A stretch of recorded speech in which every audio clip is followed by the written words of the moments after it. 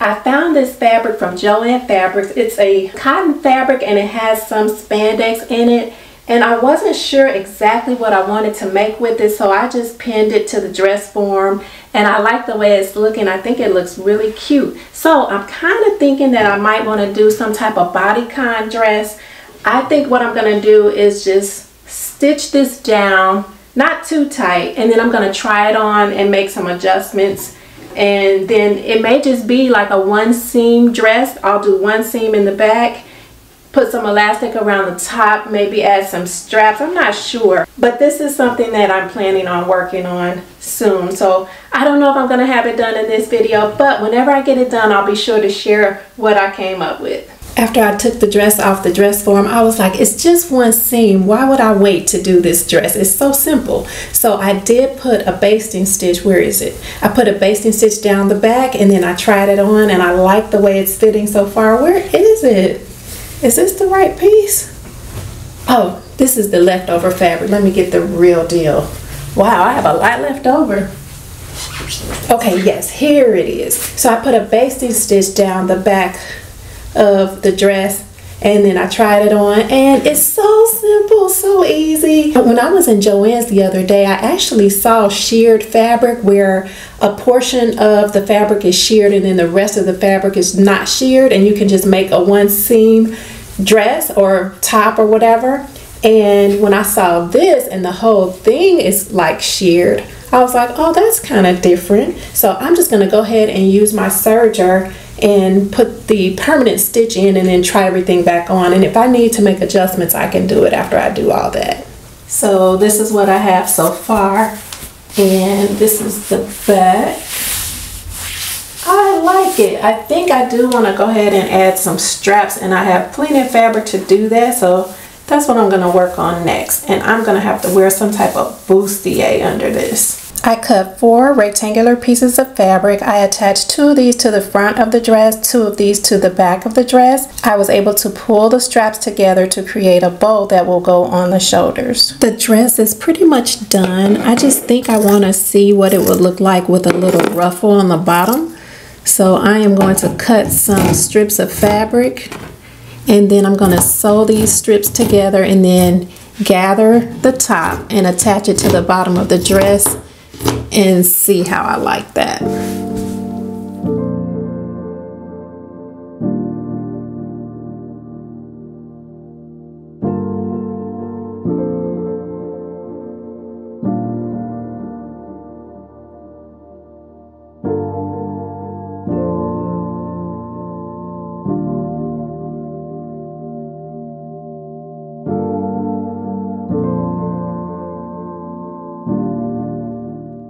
The other day I went to Savers, the thrift store, and I was walking around the thrift store. I went there because I wanted to find some denim.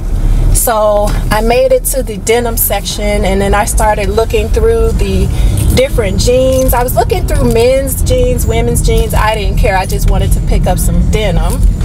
And I was actually looking for denim that had really cute designs and a lot of top stitching and things like that for my next project which I cannot wait to share with you. And I did find some things and I checked out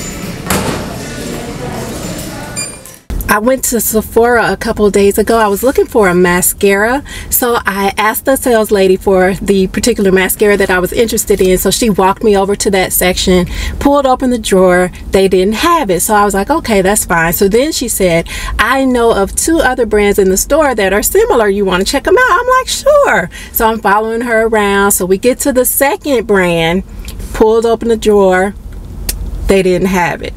So I'm like, oh my goodness. So then she takes me to the third brand that she had in mind. Same thing. So then the third time she was like, well, let me go in the back and see if they have it in the back. So while she goes in the back, I start kind of looking around the store, waiting on her to come back out. So I mosey on over to the perfume section. And I tried this one particular perfume on and it smelled really good. So I was like, hmm, that's interesting, but I didn't get it. So then she comes out and she's like, no, we don't have it. We don't have any of them. So once she said she didn't have any of the brands, I just ended up ordering that mascara online. So once I left the store, that perfume I had on was just kind of lingering in the air and it smells so nice. So long story to say, I'm sitting in front of that same Sephora store. I'm going in right now and I'm going to pick up that perfume because I couldn't stop thinking about it and it just smells so good. So they didn't have these three mascaras, but I am hoping that they have this perfume. To see if you had one of the perfumes over there in the okay, corner. I will check for you. Let me get.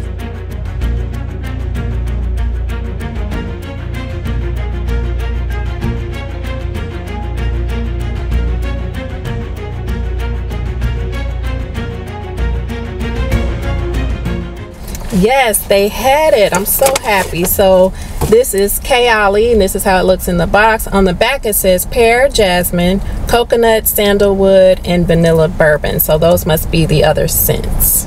Whew. These are all the things that I have to talk to you about. When I came home yesterday from Sephora, my box was here. So let me show you what I ordered. It's a big box for a little item. It is the brown mascara from YSL and it is a big tube. But this had really great reviews, so I wanted to give it a try. So I got that. Then, the other day when I was at Savers, I picked up quite a few jeans. So this is a pair, they're kind of big, but I like the pockets on the back. And I was going through my closet also looking for things that I don't really wear very much. I even have a pile over there of some other things that were in my closet. But the whole plan is I want to make a patchwork denim jacket. So I plan to cut up these jeans and cut up these different pieces of denim and then I want to patch them together until I get like a big piece of fabric and then I'm going to lay the pattern piece on top of that patchwork denim and then I'm going to cut out the pattern pieces from that and then put everything together to make a jacket. I picked this up from Savers and I like this because it had the different colors here in the legs and then it has the top stitching right here and I thought this was really cute. So let me share with you the pattern that I plan to use. This pattern is Butterick 5652. It says that it is fast and easy. This is a pattern from 1991. So this is considered vintage. And I want to make view B. It has a hood on it. And it does call for a zipper up the front and some elastic. So those are the only two notions that I'll, I'll need besides interfacing. So this is what I'm about to start working on. So the stuff with tags on it still needs to be washed. So I'm going to put that to the side. Does this have tags? Yep.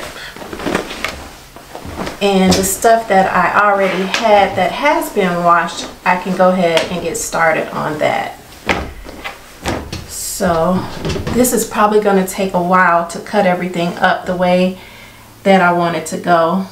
But I'm going to put on some music and get this job done.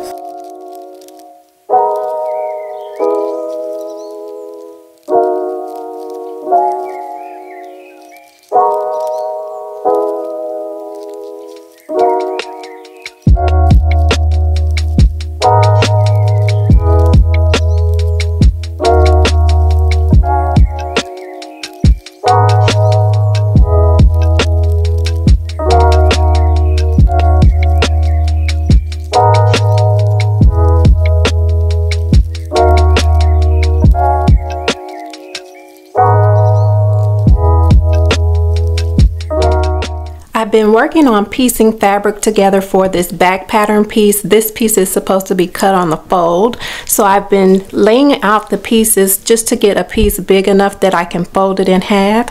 And I think this is going to work. I like the way this is looking so far. I have just gently placed the pieces on top of each other.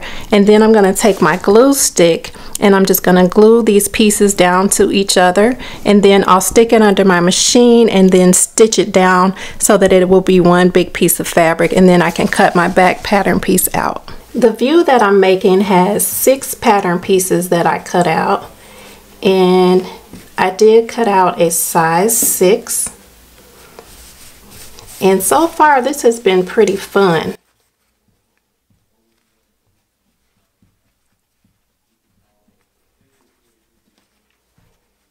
It's a little time consuming, but other than that, I've been enjoying the process. I was trying to figure out what color thread I want to use to sew everything down.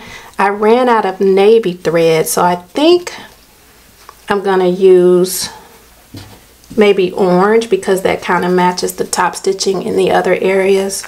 So I think I'm going to do that. I guess I just placed this here randomly. I'll go ahead and glue that down there.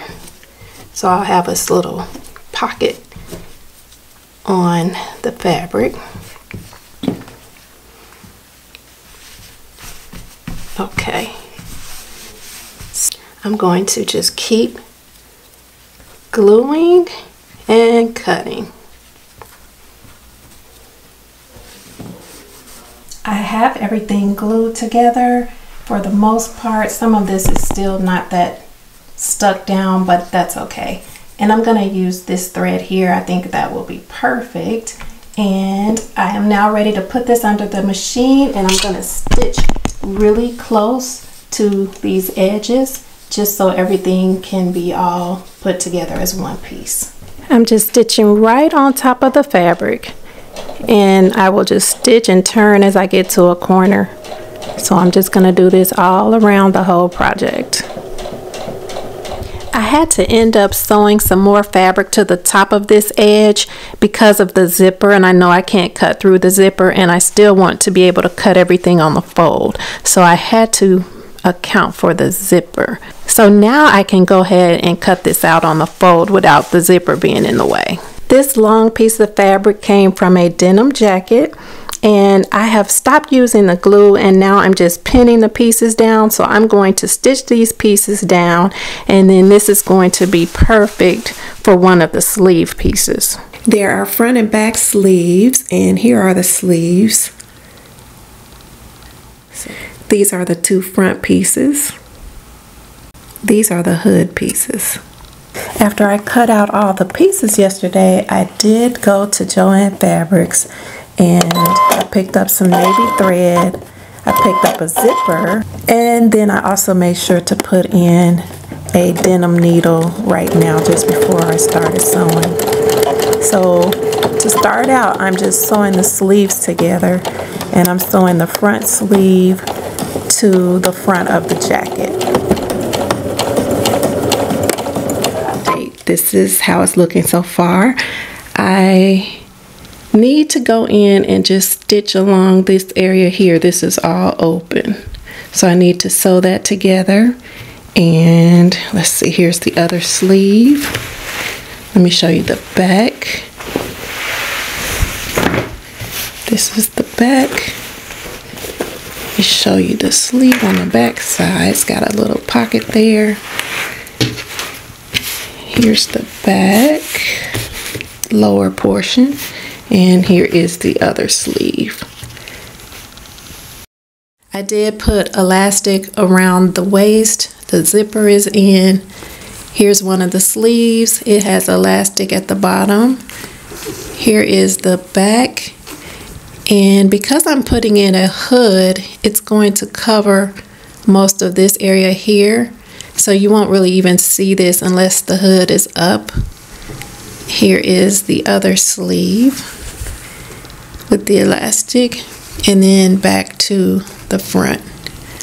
So now I just need to put the hood on.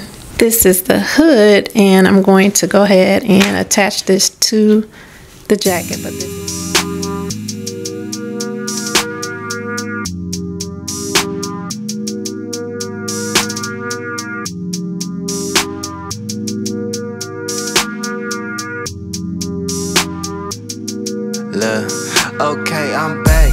Fresh on the scene. Franchise best on the team. Blue faces busting out the scene. New life is something like a dream. Back out fresh on the scene. Franchise best on the team. Blue faces busting out the scene. New life is something like a dream.